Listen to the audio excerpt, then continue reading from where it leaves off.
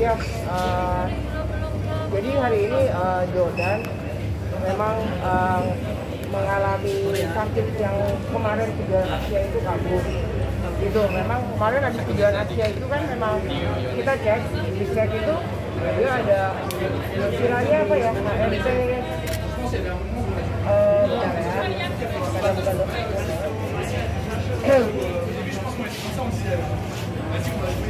back pain HNPL 5S1 jadi memang ada saraf yang kejepit wajah gitu. Nah kemarin memang sebenarnya uh, sudah dilakukan banyak treatment terus dia juga udah coba pakai korset sebelum ke Indonesia Master kemarin tuh saya juga udah nanyain lagi sebenarnya siap nggak kondisinya? Dia bilang oke okay, dia masih mencoba main. Karena dia mungkin kepengen juga main di depan panggung sendiri kan. Ya tapi mungkin uh, sayangnya kemarin itu kita lihat ini dia main juga nggak ada masalah. Tapi tadi pagi itu sakit lagi. Memang kalau menurut dokter itu kan memang kalau saraf sedikit itu memang ada susah. Kapan aja bisa kejadian lagi. Nah pagi dia mulai terasa dia bilang sekarang dia buat jalan aja sakit. Jadi ya udahlah untuk keamanan jadi aku memutuskan itu lebih baik tarik mundur aja.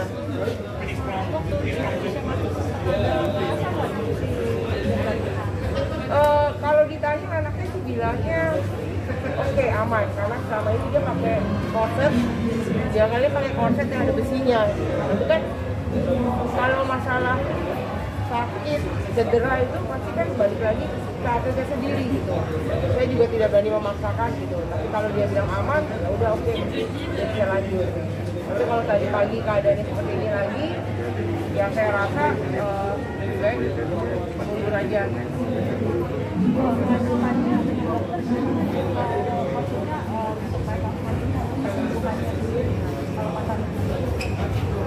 kelanjutannya ya itu juga aku belum tahu sih gitu. Karena memang harus kemarin dia udah ke dokter ahli spine juga gitu. Terus uh, detik dicek dikasih salah satu solusi yang begitu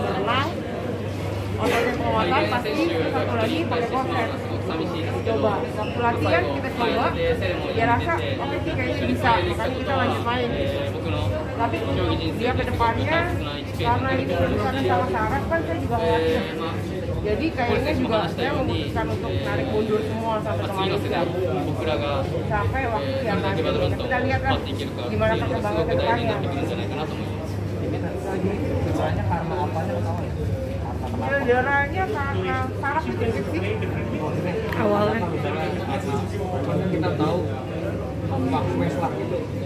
pemicunya pemicunya nggak paham juga harus dokter ngomong aku nggak tahu sih kurang tahu kan karena kayaknya bisa sebabnya bisa banyak sih apa perlu panggil dokter ya? ada sih maksudnya kan kemarin tuh saya sempat minta tolong sama dokter dokter karena dokter dokter itu kan hari juga jadi kemarin mungkin kalau mau jelasnya dia apa ya mungkin lebih itu kali ya gimana Hah?